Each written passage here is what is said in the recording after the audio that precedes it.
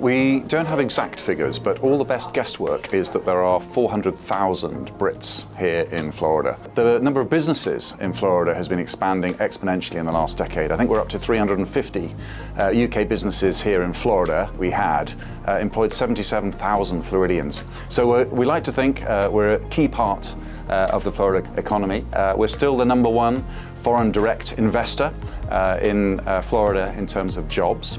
Uh, and we're also, I think, uh, the largest trading partner in Europe for Florida. It's really important, and I think it's not just uh, the Entrepreneur Center here, but it's also some of the other ones like Select Florida.